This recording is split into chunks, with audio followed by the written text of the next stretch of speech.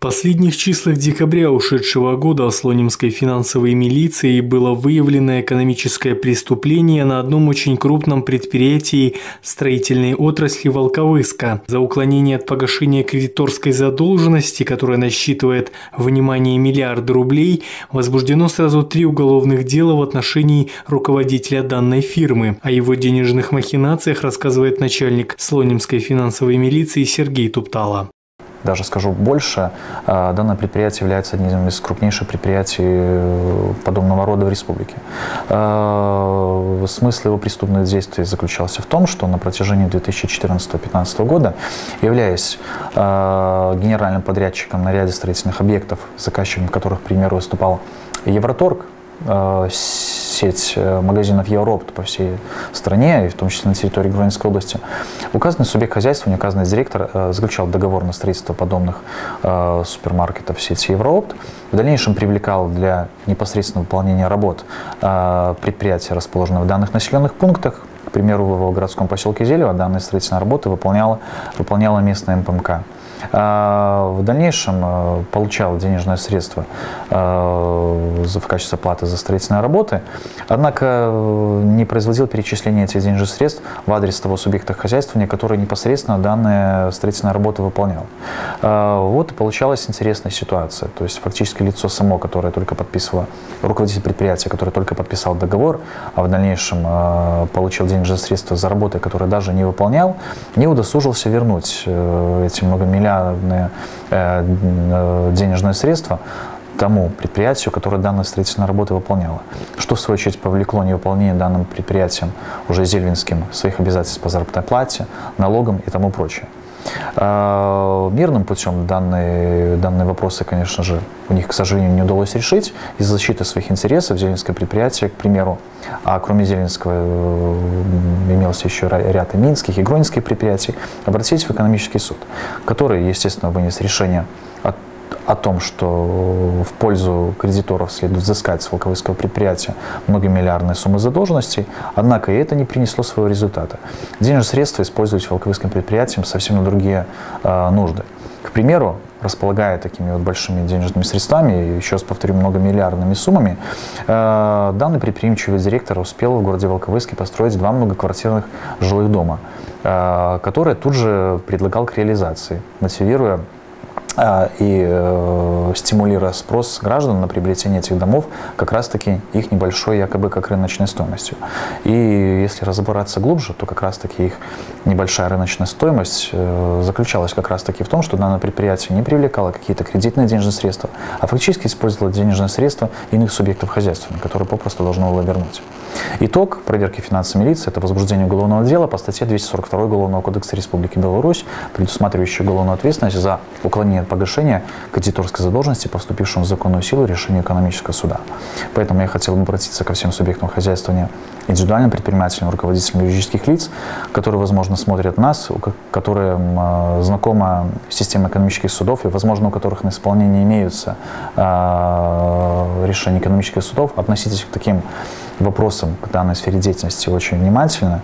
И запомните, что неисполнение при наличии возможности решения экономического суда влечет установленную законом административную ответственность, предусмотренную статьей 11.18 Кодекса об административном правонарушении, либо уголовную ответственность, что еще тяжелее, предусмотренную статьей 242 Уголовного кодекса Республики Беларусь. Коррупционный скандал разразился в нашем районе, одного из руководителей местного сельхозкооператива обвиняют в превышении служебных полномочий. С материалами уголовного дела нас знакомит Сергей Туптала. А, уголовное дело возбуждено прокуратурой Сломинского района на основании материала проверки, собранных финансовой милицией Сломинским межотделом финансовых расследований. А, субъект преступления, то есть лицо, которое совершало данное преступление, руководитель одного из сельскохозяйственных производственных кооперативов, расположенных наш, э, на территории э, Сломинского района.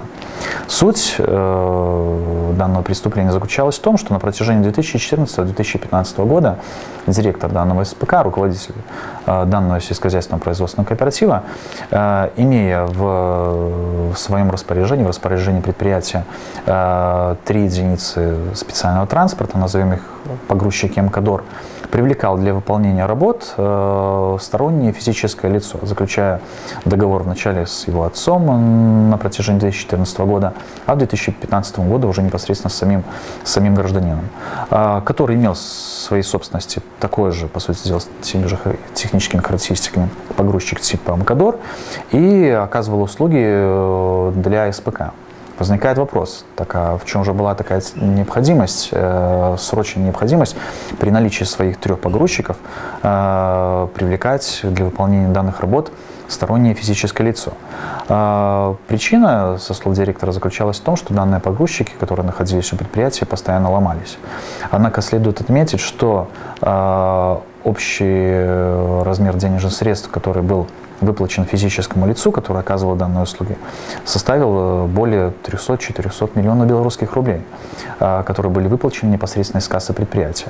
При этом же сумма денежных средств, которые необходимо было бы потратить на ремонт своих погрузчиков, а значит, а, обеспечение возможности выполнять те же работы своими собственными транспортными средствами, с привлечением своих же работников, с выплатой им достойной заработной платы, а, использовано не было общий размер ущерба, который причинен действиями такого вот руководителя э, предприятию, составил более 200 миллионов белорусских рублей.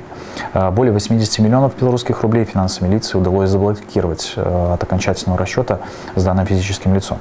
Может возникнуть вопрос, а каким же образом, на каких же условиях был заключен данный договор? Хотел бы отметить, что на условия, опять-таки, финансовой милиции при совместной проверке с э, гражданской частью Комитета государственного контроля было обращено внимание.